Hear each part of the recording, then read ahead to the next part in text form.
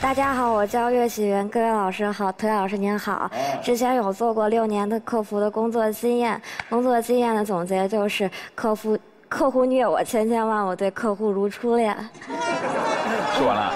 对。哦。但还有一点可以再补充一下吗？啊，可以。说吧。嗯，需要重来吗？没有，就想给您多说点话而已。然后那个，希望可以自己找一份 客服的岗位或者是行政的岗位。说完了。对，是的，老师，谢谢您。您好。哦，你咋长这么喜庆呢？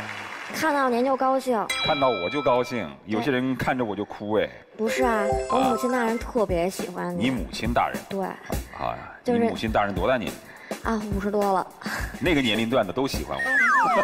是对您的外表跟才华，他都非常喜欢。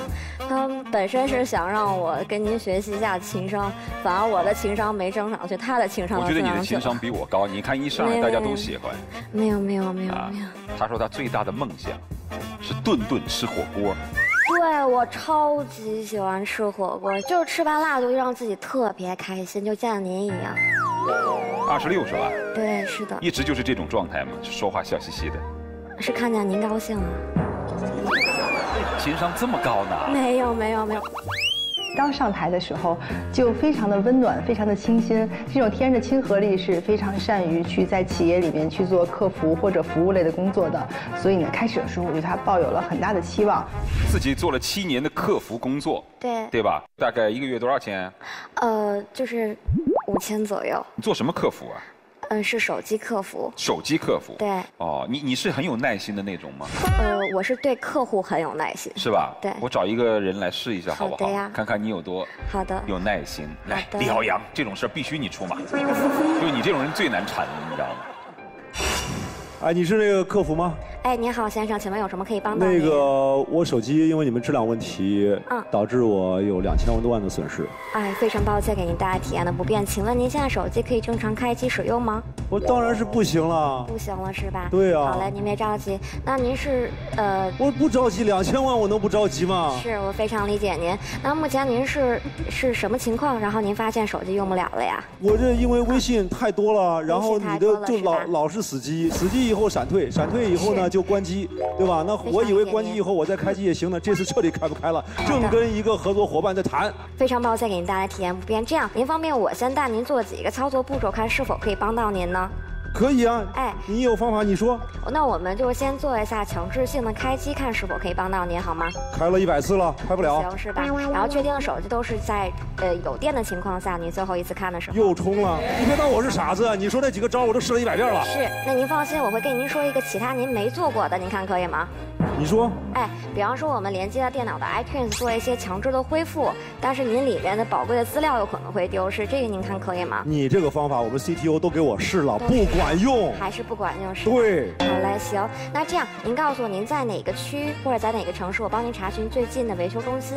我这时候还有什么维修中心？我叫你们赔钱。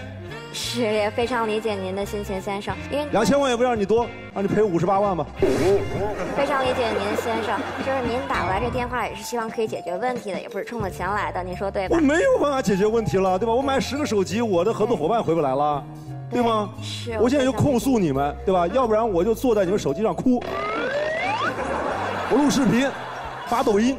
差不多可以了，我觉得这姑娘够棒的了，哎，是不错不错。那么糟糕的人，我跟你讲，浩然你真专业，太专业了这事儿。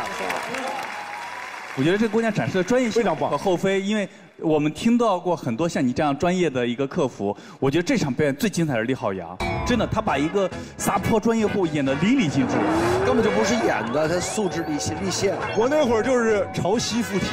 你知道吗？不要往我身上找，我感觉你像个很神的。好好好好好，别急啊，别急，别急，别急啊！其实啊，他还有一个优点，他的节奏感很好。我们做节目的最讲究说话的节奏感。有些人服务态度也很好，但是是慢条斯理型的，而他的节奏感跟厉浩洋的节奏感是非常契合的。在就是客服的这个工作当中，有七年能够有这样的表现，我们觉得非常难得。说实话，厉总的那个呃攻击性是非常强的，他始终保持一个非常好的节奏。我特别喜欢就是在跟人交流的时候不让人反感，然后又能够把自己的话说清楚的这样的客服。所以小云，我想问你，你的性格很好，你刚才对面对强压的时候，你也是能保持很好的心态。那我其实知道有一种情况，就是他回家之后或者他自个人的时候，他情绪是不舒服的，然后他会有这种比如阴郁呀、不爽啊，你会不会有？会有啊，一顿火锅就可以解决了。啊，这个很好。